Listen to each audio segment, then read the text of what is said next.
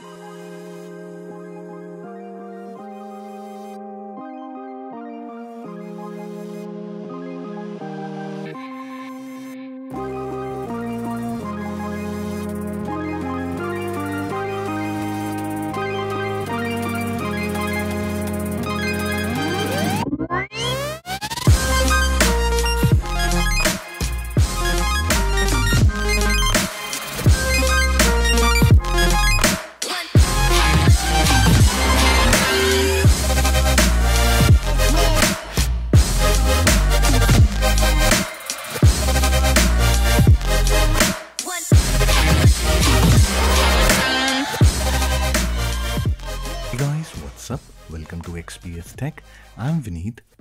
making Linux related videos on topics like desktop environment, file systems, directory structure, package managers and so on for the last 12 years and it's hard to believe that I have not made a complete beginner's guide to Linux yet. So today's video will be just about that. It will be a detailed guide introducing the Linux operating system, its main components, the ecosystem, how it differs from Windows or Mac OS. Now the purpose of this video is to build a strong foundation and a clear understanding of the inner workings. Though it is a beginner's guide, but we'll be covering all aspects including the kernel, initialization system, bootloaders and further look into the user space programs as well. Now for the sake of better understanding and not to overload with all the information at once, I have divided this video into two parts. In part 1, we'll look into the basics of Linux plus the kernel space programs like Linux kernel itself, bootloaders and init systems. And in part 2, we'll cover user space programs like file system, desktop environment, package manager, directory structure, the bash and essential Linux command. Now if required, if I find part 2 is a lot of information for one video, I may further divide and cover the bash and important Linux command in a third video. We'll see how it turns out. Alright now let's start part 1 and understand the basics of Linux. First let's see how Linux is different from other operating system. I'm sure you must have worked on Windows operating system or maybe Mac OS. Linux is also one of the operating system. On a very basic level, the job of an operating system is to manage the underlying hardware, give tasks to processor, and provides a platform for user and application to interact with the hardware. Computer without an OS is just a piece of hardware. It's like a body without a soul. But what's special about Linux and how does it differ from other operating system? Well, let's understand this with an analogy. You can imagine an operating system as a house. When you want to buy a house, you have two options.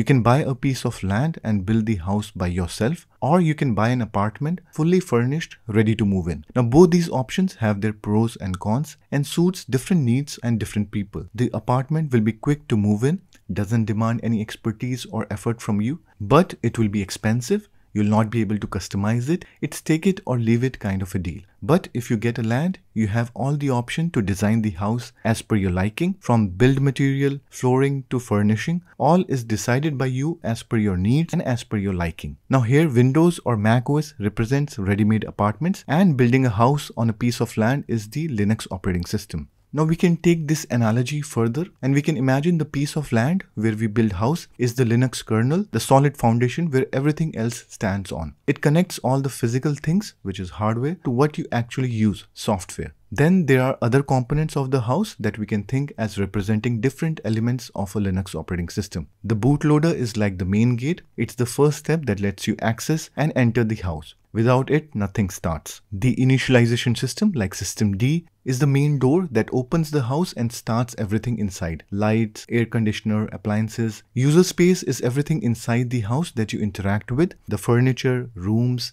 tools. It represents all user level programs and processes. Desktop environment like GNOME, KDE is the furnishing and decor. How things look and feel. It includes your windows, icons, menus and user interface. The file system is like the storage units, cabinets and shelves in your home. Everything is stored neatly and accessed as needed. Applications are the appliances and tools you actually use, like the TV, microwave, computer, air conditioner, and they help you get things done. The package manager is your delivery service or store from where you can bring in new furniture, appliances, which is softwares, remove unwanted ones, and updates existing things. Lastly, the shell is like the remote control or command interface inside the house. It lets you tell things what to do, like turning on lights. I think now you get the picture. Linux is an open source operating system. Open source means that the code is available for you to see amend, and use as you want. Linux offer customization, gives you multiple options for each individual element that collectively makes an operating system. Now not everyone has the time or will to choose each and every component by himself. Here comes Linux distribution or the distros into the picture. A Linux distro is a pre-packaged ready-to-use Linux operating system built for specific purpose and for specific users in mind. It's like a pre-built house to get you started, but you can still tweak, change, or replace things in here. The most popular are general purpose distros like Ubuntu, Zorin OS, Elementary, Mint, and so on. They are for general computing for common computer users equipped with all basic functionality required for a home computer, like Office Suite, Music Player, Calendar, and so on. These are the ones that you should select if you are an absolute beginner and looking for a Windows alternative. Then there are distros like Kali Linux, Parrot OS, BlackArch Linux, that is for penetration testing and cybersecurity. Distros like Manjaro, Arch, Fedora, they are for software developers. Alright, now that you understand the basic concept of Linux,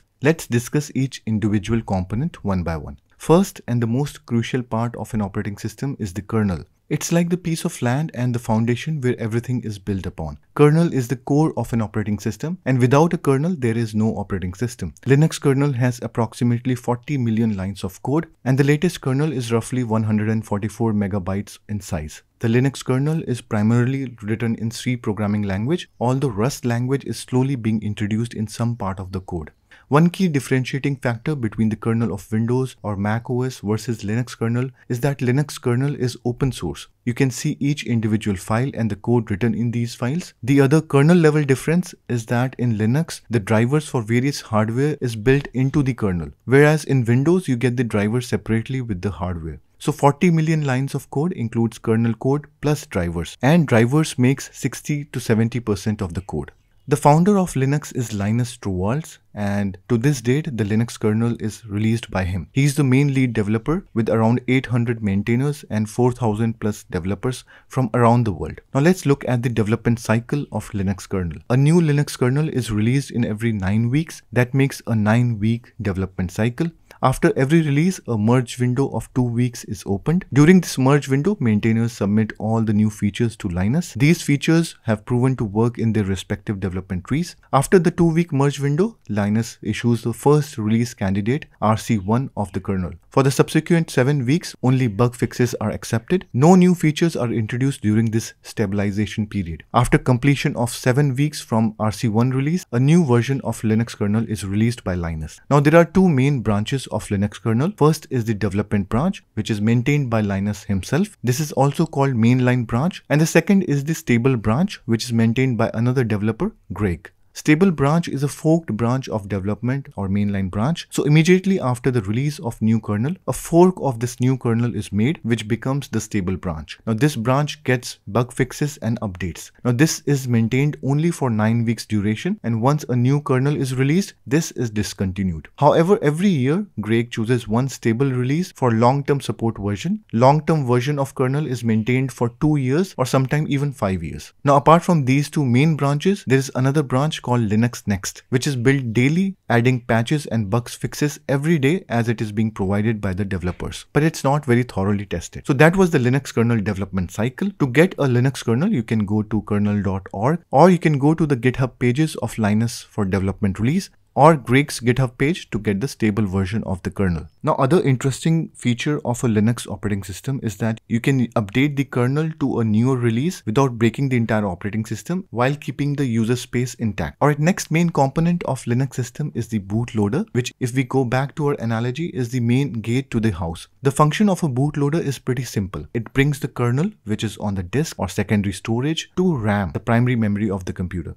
That's it. It does this by scanning the disk looking for a boot sector. Once found, it loads that into the RAM. Boot sector contains pointer to where the OS kernel is located. It loads the kernel and hands over the control that in turn starts the operating system. In Linux, there is one step in between which is loading a file called initramfs or initialization RAM file system, which is a small archive file in CPIO format, copy in, copy out format. It contains essential drivers, scripts, and binaries which are loaded first and is used to further mount the actual root file system, which may be on RAID configuration or have an encrypted disk or a network storage. It also set up early user space and load additional kernel modules. Linux has multiple bootloaders, but Grub is the most widely used. In Grub 2, you can change the parameters during boot by pressing the E key, which opens up the grub config file, which is similar in structure to the Windows equivalent boot ini file. Pressing the C key gives you command prompt where you can type in grub commands like setting up root or changing the system kernel. Now, if you want to go deep, you can check out the complete list of commands available by going to the Grub manual page. The link is in the description below. File system is another key factor deciding a bootloader. The bootloader must understand the file system used on the disk, such as ext4, btrfs, xfs, or FAT32. Grub supports a wide range of file system, and that's why it is the most preferred choice. Further, you can also customize the boot screen changing it to your desired image. If you are interested in that, you can check out one of my previous videos where I showed how to change boot animation in Linux. The link is in the top right corner as well as in the description below. Alright, now moving on, the last one for this video is the init program or initialization program, which going back to our analogy is like the main door that opens the house and starts everything. You can imagine the init system as the key of an hotel room, which usually comes in a shape of a plastic card. When you enter a room and place the card in its holder, it immediately turns on light lights, AC, TV and other appliances. Now init system in Linux is just like the card. It boots up services and processes in Linux and makes the Linux ready to use. So understandably init is the first program that runs and therefore have a PID or process ID of 1. Alright, other operating system also has init system. Windows has WinInit and macOS has LaunchD. There are many init systems available having different features. Now systemd is the most popular and being used by majority of Linux distro, so we'll restrict ourselves to systemd for this video. Two things you need to know to get started with systemd init is the directory used where all the files reside and a systemd concept called units. First, let's look at units. Now systemd organizes tasks into units a unit is simply a configuration file that defines a resource or task the system should manage. Each unit describes how something should start, stop, restart, and behave, often using dependencies and conditions. A unit can be a service, device, mount points, or any of the things listed here. Now, starting an Apache server will be a service unit, opening a port to receive traffic will be a socket unit,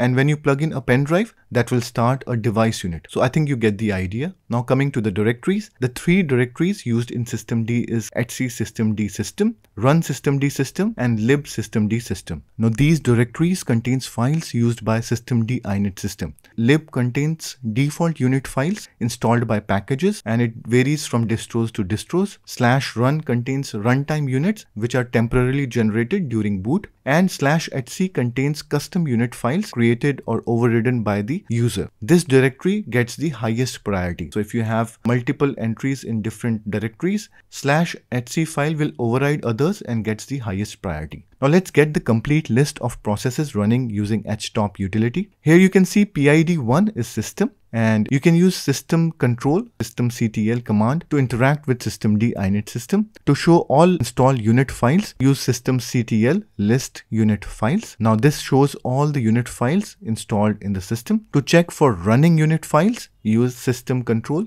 list units. So these are the files that are running. You can enable or disable a service using command system control, enable, disable, or you can also use start, stop, or restart to perform these action on a unit. To get a list of all the service or a device, you can pipe the output of systemctl command to grep command and further to add numbers to each entry, you can use the awk command. And by the way, if you want to learn awk command, there will be a video soon explaining awk in detail. So make sure you subscribe. Alright, so now you can see there are 47 device units currently working. Alright, so here we end part 1. I hope that wasn't too much information and you get a fair idea of how Linux works, especially the kernel space programs. In part 2, we'll be focusing on user space programs. So stay tuned and if you haven't subscribed, hit that subscribe button now if you like this video, hit the like button. If you have any comment, suggestion or feedback, please write that in the comment box. I love to hear from you. A huge shout out to all my subscribers. Thank you for supporting me. Alright, so thank you again for watching and I'll see you in part 2.